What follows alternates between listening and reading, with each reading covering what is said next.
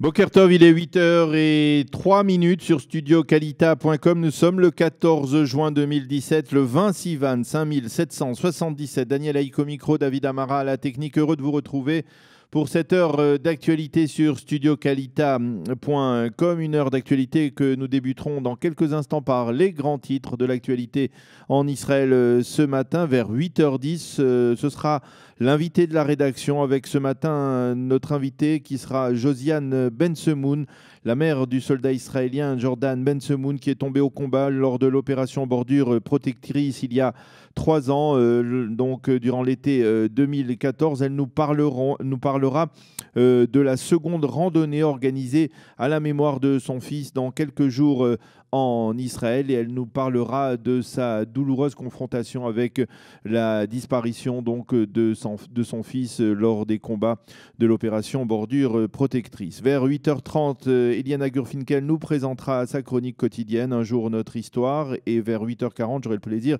de vous présenter la revue de la presse et des médias israéliens. Nous terminerons, nous l'espérons, cette heure d'actualité sur studiocalita.com avec Sam Kadosh, le directeur du CNEF, qui nous fera un bilan euh, du colloque euh, qui s'est tenu euh, hier donc à l'université de Barilan, un colloque consacré à la contribution de la communauté francophone à la société israélienne. Ce sera donc en fin de cette heure d'actualité, mais tout d'abord comme promis, les titres de l'actualité en Israël ce matin avec une déclaration de Rex Tillerson, le secrétaire d'État américain, qui a révélé hier lors d'une audience devant le Sénat américain que le président Trump et lui-même avaient demandé à Mahmoud Abbas de cesser euh, de virer des salaires aux détenus palestiniens et aux familles des terroristes suicidaires.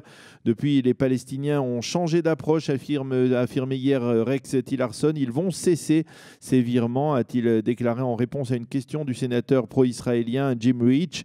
C'est la première fois, il faut le souligner, qu'un responsable américain affirme que les Palestiniens ont décidé de modifier leur politique de soutien donc financier aux terroristes. Il faudra voir si cette information est euh, confirmée par, la suite.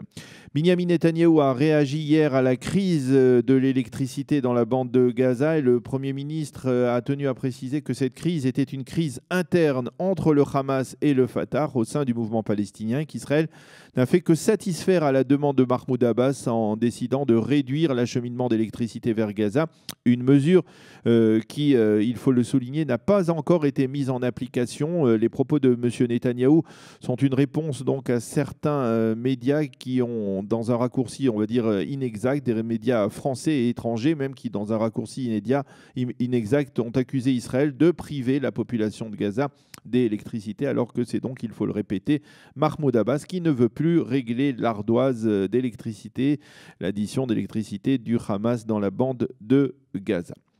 Binyamin Netanyahou s'envole aujourd'hui vers Salonique pour participer à un sommet tripartite avec ses homologues grecs et chypriotes dans le cadre de l'alliance existante entre les trois pays, une alliance qui s'est considérablement renforcée au cours des dernières années, ce en particulier en matière énergétique, puisque les trois pays ont des intérêts communs avec les immenses quantités de gaz naturel qui se trouvent dans le sous-sol de la Méditerranée.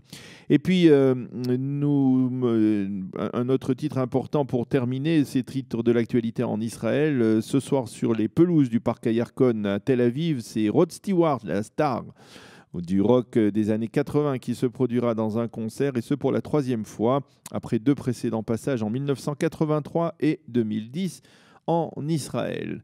La météo pour terminer, eh bien, le temps sera légèrement plus frais. Il pourrait même pleuvoir aujourd'hui dans le nord euh, du pays, ce qui serait assez exceptionnel en ce mois de juin. Mais les températures restent tout de même très élevées. Il fera 29 degrés à Jérusalem et à Tel Aviv et 30 degrés à Eilat. Voilà euh, pour ces titres de l'actualité.